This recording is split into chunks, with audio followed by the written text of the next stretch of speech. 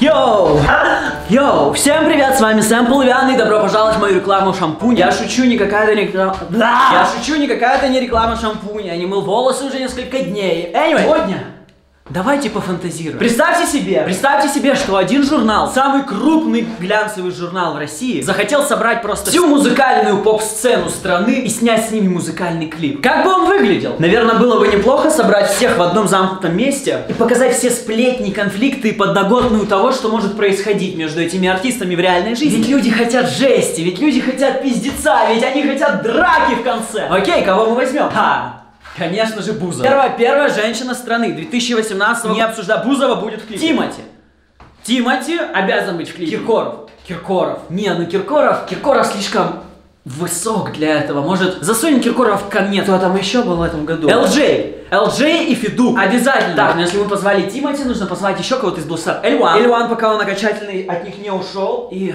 Не, не Натан и мод. Пускай будет мод. В клипе должен быть нейтральный персонаж. Нейтральный персонаж. Антон Лаврентьев. Антон Лаврентьев. Я знаю, я знаю, что вы не знаете, кто это. Прогуглите. Чувак с орла и Так, нужен тот, кто будет зарождать конфликт. Фараон. Да, да, фараон идеально впишется во всю эту тусовку. Ему не надо там петь, он странно будет выглядеть со всеми этими артистами. Он просто придет попиздиться. Еще, Бузовой слишком мало. Не Бузовой да хуя, она может вообще одна участвовать в этом клипе, но... Но ведь нужно добавить еще девчонок. Кто, кто у нас там, блядь, поет? Айза. Мне лично нравится Айза. И Караулова. И Караулова, тем более у нее был конфликт с Бузовой. Нужно добавить кого-то такого, кого никто не знает.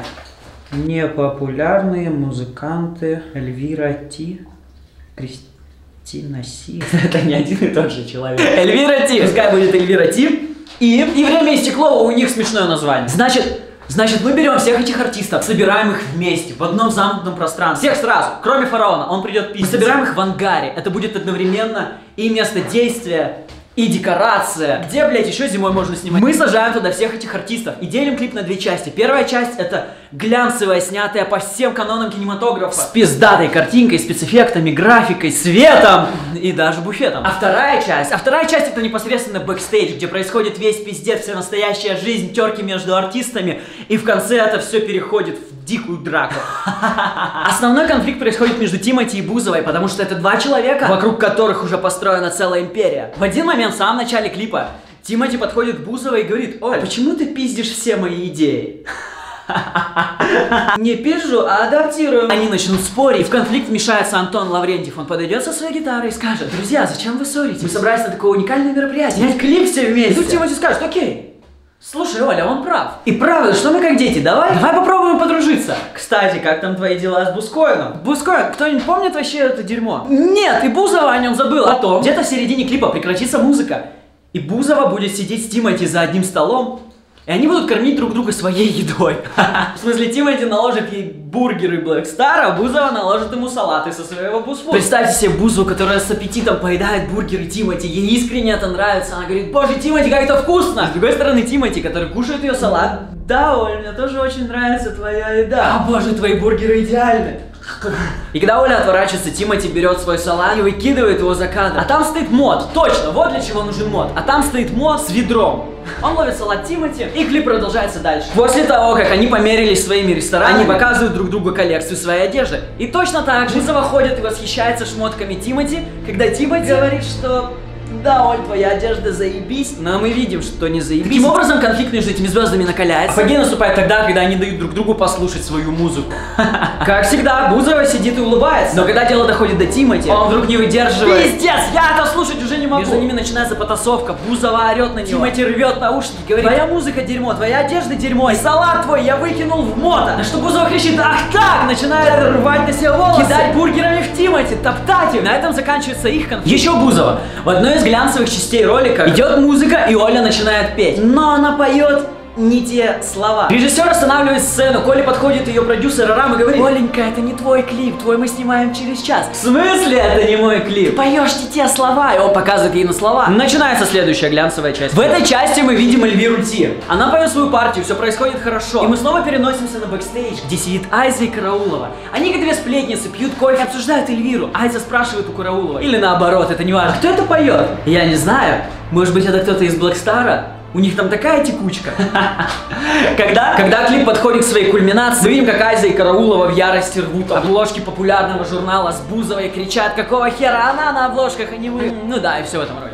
Время истекло. Они пришли на клип с собакой и свиньей. Когда я встретил режиссера, он спрашивает, какого хера вы пришли с собакой и свиньей? На что девочка из группы отвечает, нам продюсер сказал прийти с этими животными. 2018 год собаки, 2019 год свиньи. Видите логику? Режиссер, мы снимаем глянцевый клип, здесь нет никакой логики. Но на самом деле в наших клипах тоже ее никогда нет. Дальше начинается глянцевая часть, где время и стекло творят какую-то жесть с этими зверями. Еще одна партия с ними, представьте. Ребята из время и стекло сидят напротив Айза и говорят ей, Время и стекло. Понимаешь? Это игра слов. Потом прямой кадр на Айзо. Нет. И на этой шутке построить долгосрочный конфликт, который будет тянуться по всему движению клипа. Когда ребята из группы будут пытаться объяснить свое название. А все вокруг будут делать вид, что как будто не понимают, что происходит. В этот момент, в этот момент, когда конфликты между всеми артистами уже на пределе, на площадке вдруг появляется фараон со всей своей свитой. Впереди него идут несколько доберман. Они начинают нападать на собаку, которую притащили время и стекло. Фараон подлетает к ним и кричит, уберите вашу суку! Кого назвал сукой? Ты хоть знаешь, кто мы? Мы время и стекло. На что фараон отвечает, какое уебищное название. Начинают драться собаки, от этой съемочной группы проливает кофе на свет, световики начинают хуячиться с гачем. Чуваки с шайки фараона вообще как будто пришли сюда просто подраться. На заднем фоне рвут волосы Айза с караулом. Бузова швыряется бургерами Тимати, Тимати орет. Федук, который, кстати, пришел с картонным ЛДЖ, просто где-то плачет в углу, а на переднем плане стоит... Как его влезу? А на переднем плане стоит Антон Лаврентьев и играет на гитаре. По коридору слышны уверенные шаги. Камера медленно следует за ногами, поднимается. Открывается дверь в павильон, она пролетает по всему наряду. Мы видим Филиппа Бедросова. Он делает так, блядь, делает так и говорит, ну пиздец. Где-то я это уже видел. Пам! Конец клипа. Мама, я скажу с ума! А теперь просто представьте, что этот клип выйдет. Да, мам? Да, мам, привет. Что делаю? И я просто записал на камеру сценарий. Просто фишка в том, что я же знаю, что меня они не смотрят, мой YouTube. И будет забавно, вот я завтра выложу это видео, а они, допустим, да, через месяц сделают по этому сценарию, и это будет очень весело. Да, давай. Целую. Это какой-то конченый бред. Ну, было бы забавно, если бы кто-нибудь это снял.